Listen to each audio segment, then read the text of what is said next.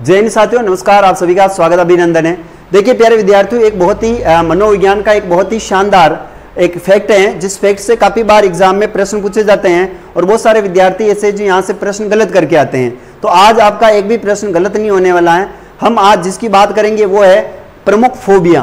Phobia क्या होता है? याद रखना, मनोविज्ञान में फोबिया को डर कहते हैं और डर को मनोविज्ञान में फोबिया कहा जाता है। यानी हम जिस जिस से डरते हैं वो डर क्यों होता है हमारे मन में? वो मनोविज्ञान उसके लिए एक शब्द है एक कोटेशन देता है एक शब्द देता है कि आप इस वजह से डरते हैं। जैसे आग से डरना पानी से डरना जैसे आपकी बिजली से डरना किताबों से डरना कुत्तों से डरना छिपकली से डरना ऊंचाई रोग भीड़ सुई है ना? आ, जैसे खून से डरना असफलता से डरना ये सारे के सारे फोबिया हैं। इसके बारे में देखते हैं।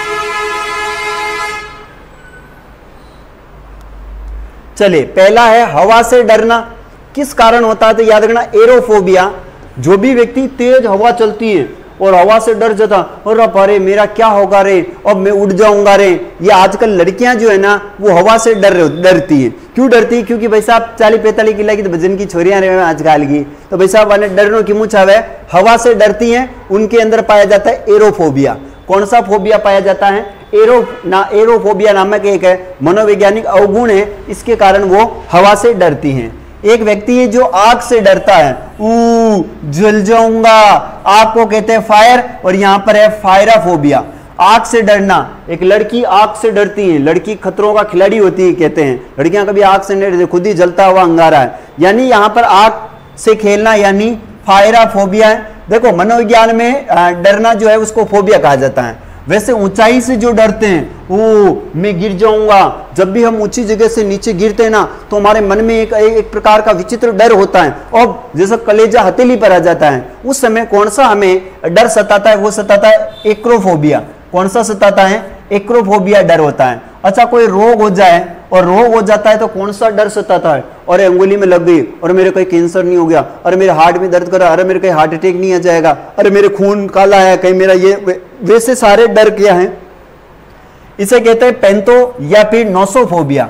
पेंतो या नसोफोबिया कहते हैं, जैसे भीड़ में बहुत सारी भीड़ इकट्ठी हो गई और व्यक्ति डर गया, ये इतने लोग क्या है? अब मेरा क्या होगा? मैं गचरा जाऊँगा। तो उसको कहते हैं, याद रखना, वो कहते हैं आ, आक्लोफोबिया। क्या कहते हैं? आक्लोफोबिया कहते हैं। जैसे कोई सुई से डरता है, जैसे ही बेचारा इंजेक्शन भरेगा डॉक्टर इस प्रकार से, और बेचारा करेगा, जैसे लेके जाएगा, और मेरे इंजेक्शन लग जाए, उससे पहले ही डर जाएगा, वो अपने हाथ पैरों को कड़क कर देगा इंजेक्शन से डरेगा, उसे क्या कहते हैं? उसे कहते हैं ट्रिप ट्रिप्नोफोबिया, क्या कहते हैं? ट्रिप्नोफोबिया के नाम से जानते हैं इंजेक्शन से डरता है आदमी। फिर इसके बाद में कोई व्यक्ति ऐसा है जो पानी के पास जाने से डरता है तो उसे कहता है हाइड्रोफोबिया पानी के पास जाने से डरता है तो उस व्यक्ति को कहते हैं हाइड्रोफोबिया। यानी कोई ऐसा व्यक्ति जो पानी को देख करके डर ना नहीं नहीं, मैं तो इतने पानी में नहीं जाऊँगा, उसे कहते हैं हाइड्रोफोबिया। छिपकली से डरना, लड़कियाँ कॉकरोच और छिपकली से डरती, उसे कहते हैं अर्जनोफोबिया। फिर आता है कुत्तों से डरना, अरे बारे कुत्तों काट ले रे का बड़े न जानो, कुत्ता कभी काट ले, कुत्ते को वापस काट लो, दो बार कुत्ता मर जाएगा। कुत्तों से डरना कहलाता है किनोफोबिया। फिर है बिजली चमकना, बिजली गड़गड़ारी कड़खड़ा खड़कड़ा खतरनाक। बिजली डर बारे मारा ऊपर न पट जाएगी टी। इसको कहते हैं एस्ट्रोफोबिया। क्या कहते हैं? एस्ट्रोफोबिया। किताबों से डरना सबसे बड़ा डर होता है भाई साहब, किताबों से। जो भी व्यक्ति किताबों से डर आप भारे ऐसी किताबों को कब पढ़ूँगा, ये सिलेबस कब पूरा होगा, उसे कहते हैं बेबिलियोफोबिया। क्या कहते हैं? बेबी बेबी से सब डरते हैं। वो मेरी बेबी, मेरी जानू, मेरी सोना, ऐसे कौन है? भाई साहब किताबें भी आपकी बेबी होती है। अगर आप पढ़ोगे, नौकरी लग जाओगे तो ये बेबी आपके पास दौड़ कर आएगी। तो याद रखना बेबिलियोफोबिया है। कौन सी फोबिया है? बेबिलियोफोबिया है। खून से डरना, इसे कहते हैं हेमोफोबिया। खून से डरना, ओ, खून, इतने सारे निकल गए, क्या कहते हैं उसे?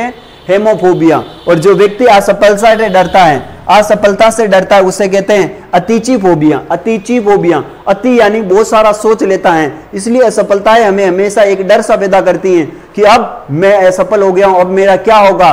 तो उस समय हमारे मन में एक जो है डर पैदा होता है, उसको कहते हैं अतिची फोबिया क्या कहते हैं? अतिची फोबिया यानी अकेलापन अकेलापन कोई छोड़ के चली गई। रोज बातें करती थी, अब बातें नहीं कर रही हैं। उस समय एक डर सा रहता है, क्या पता कहीं मेरे को छोड़ ना दे, क्या पता कहीं वो मेरे को भूल ना जाए।